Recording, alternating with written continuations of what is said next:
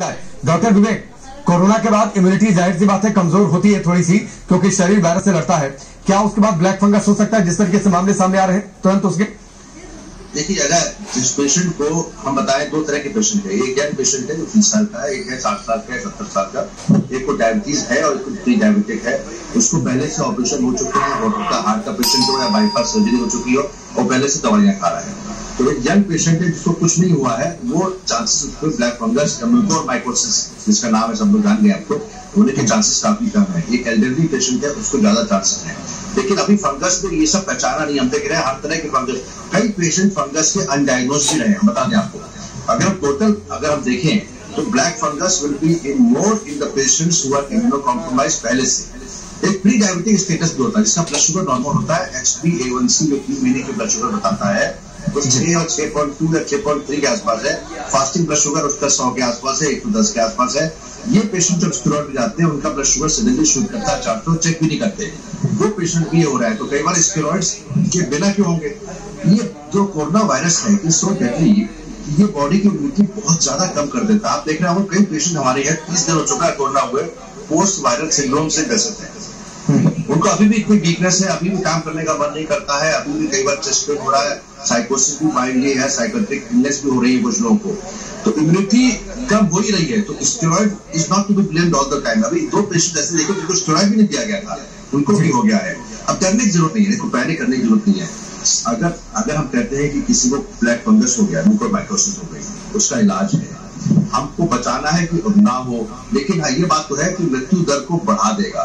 एक स्टडी ने तो चौवन परसेंट बताया है, मुझे लगता नहीं इतना ज़्यादा ब्लैक फंगस से डेथ होती है। चौवन percent death is very high death लेकिन वो तब होगा जब उसकी ब्रेन में पहुँच जाएगा, उसकी आँख के अंदर, आँख का देखिए ऑपरेशन करना पड़ता है क्योंकि आँख ब्लाइंडनेस हो जाती है। ब्लाइंडनेस में होती है ऑप्टिक नर्व डैमेज हो जाता है। आँख के पीछे नर्व होती है ऑप्टिक नर्व वहाँ पर जाके वो बैठ जाता है पूरा यही सबसे ज़्यादा गंभीर बात है कि जो बातें आपने कही कि ब्लैक फंगस का इलाज तो है ये एक अच्छी बात है लेकिन अगर सीवियर कंडीशन में पहुँचे तो मृत्यु दर को बढ़ा सकता है। इसीलिए डॉक्टर कपूर अगला पर सेल्फ मेडिकेशन और सेल्फ जो उपाय लोग अपना ले रहे हैं वो सबसे ज़्यादा सीवियर हो जा रहा है। डॉक्टर विवेक आप कुछ कहना चाह रहे थे उसके साथ एक और सवाल?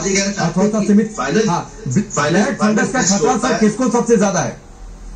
देखिए डायबिटीज़ पेशेंट को है जो स्टेरॉइड पे है और कोविड नाइन्टीन निमोनिया पहुँच चुका है, उनको ज़्यादा है।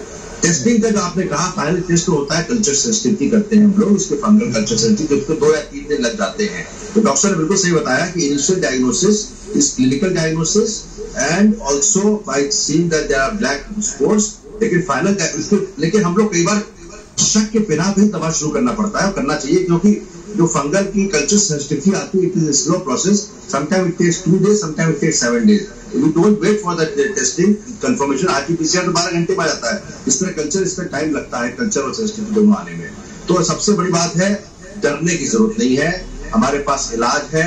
It is not hundred percent mortality steroids का हम लोग इतना ज़्यादा ब्लेम ना करें, लेकिन अगर ब्लड शुगर हम करते रहे कंट्रोल करते रहेंगे इवन विद स्टेरॉइड्स तो हम बचे रहेंगे। और इसका इलाज है और, और प्रिवेंशन के लिए आपको बता दिया गया कि मास्क का यूज़ ज़्यादा ना करें। और ऑक्सीजन की जो पाइप है जो घर के अंदर ऑक्सीजन कंसेंट्रेटर अभी भी लोग दे रहे हैं उसकी पाइप को रेगुलर सप्लाई करते रहे क्लीन करते रहे और स्टेबलाइज भी करते रहे और जिसको फिर फिर वापस लगा दीजिए। बाकी तो भगवान बचाए गई और कोई दिक्कत की बात नहीं है। ठीक है भगवान बचाएगा और सबसे बड़े योद्धा जो आप लोग हैं फ्रंट लाइन पर आ, लोगों के लिए दिन रात सेवा कर रहे हैं इलाज में लगे हुए हैं तो इस समय सबसे बड़े योद्धा आप लोग हैं और दिन रात जी। था कि जहाँ पे एम्फोटेरिसिन बी नहीं मिल पा रही है ऐसे केसेस में इंट्रावीनस विटामिन सी और इंट्रावीनस इम्यूनोग्लोबुलिन का काफ़ी रोल है। They will increase immunity of the patient और वो अपने आप से लड़ने की आ जाएगा ठीक है, ये एक बेहतर सुझाव है, डॉक्टर विवेक, वक्त इतना ही है। आप दोनों का बहुत बहुत शुक्रिया हमसे जुड़ने के लिए।